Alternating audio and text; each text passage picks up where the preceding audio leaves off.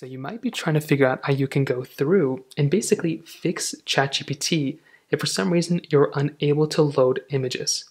Now, what does this basically mean? Now, within ChatGPT, we have the capability of essentially uploading images, you know, putting in all that kind of stuff.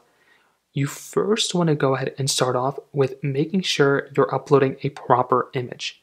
Sometimes the image that you're uploading, or whatever the case is, sometimes it can give you some issues. So at the bottom, you want to go ahead and click on that plus button, and you want to tap onto the photos option. Now, if it's telling you to give access to ChatGPT to you know get access to your photos, you want to make sure you click on OK. Now, what you want to do is bring in the proper images. Sometimes if the image is too big in size, sometimes if the image is not a proper format, or if this internet connection you're uploading to is spotty, sometimes that can cause some issues. So go through, find that image that you want to go ahead and upload, make sure you're clicking on the checkmark button at the very top, and then you want to try it again. You can see right here it started kind of processing that image. Sometimes it takes a little bit of time before it actually goes through and uploads. So don't click that send button just yet wait until you see that X button, and then you want to click send.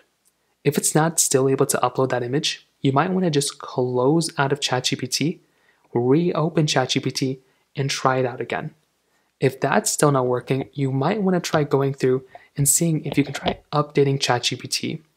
So make your way over into the ChatGPT application, just like so. Go ahead and click on the update button right there.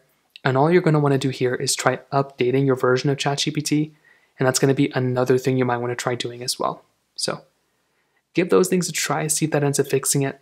But that's pretty much the main way to go ahead and do it.